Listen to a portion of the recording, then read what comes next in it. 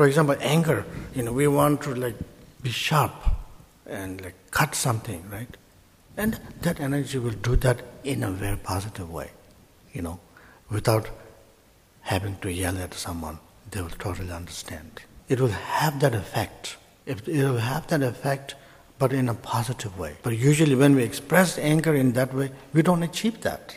We achieve the opposite result. But this energy will help us to achieve that, that actual result that we want to achieve, like joy, you know, joyfully achieving that.